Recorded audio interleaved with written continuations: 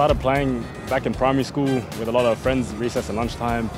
Um, you know, I didn't really uh, join a club until 2011 was my first my first ever junior club was was, that, was at um, West Adelaide Hellas. Um, but before that, I was just playing um, for fun at school, and um, I started getting into it when uh, I got a lot of compliments saying that you know I could probably make a fuss in football. So yeah, I finally uh, decided to join a club, which was in 2011.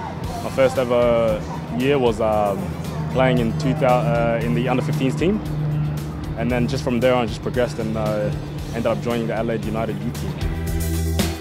My family were always encouraging and um, always wanted me to, you know, put in my best work, especially no matter what I did. At first, they weren't, they weren't 100% with it uh, for me just playing football. They wanted me to get a job, support the family as well, but I think it turned out pretty, uh, pretty perfect. I think it was, it was a very big step for me, especially my first year at the A-League, which was the 2016-17 season when I um, joined Melbourne City. It was, um, it was a very big step. It was a great experience, especially being young and getting into the team and playing week in, week out, and you know, just learning from the experienced players beside me. Had a great bunch of boys as well. Yeah, I think it's been fantastic so far. He's um, really encouraged me, and a lot of the other players, you know, especially for the uh, for the defenders. He's, he's uh, he spoke individually uh, with us, and you know, give us some points and um, some knowledge about it because he's obviously played in the game. So it's been very good, and uh, having the experienced players, you learn a lot from them, and they just encourage you to to give it your best and uh, enjoy the game.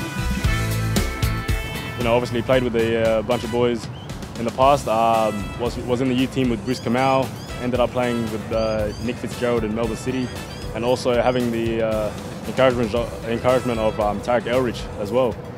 Uh, you know, training training with with him in the Adelaide United team back in the day was uh, was great, and and even better to be to come here together.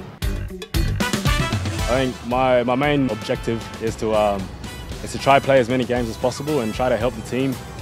You know, and obviously um, my as a, as a, as a team objective is to um, to win trophies and and finish very high in the table. I think uh, Western Sydney has the best fans in the in the league, and I think I can't uh, I can't wait to play in front of them and show show them what I got.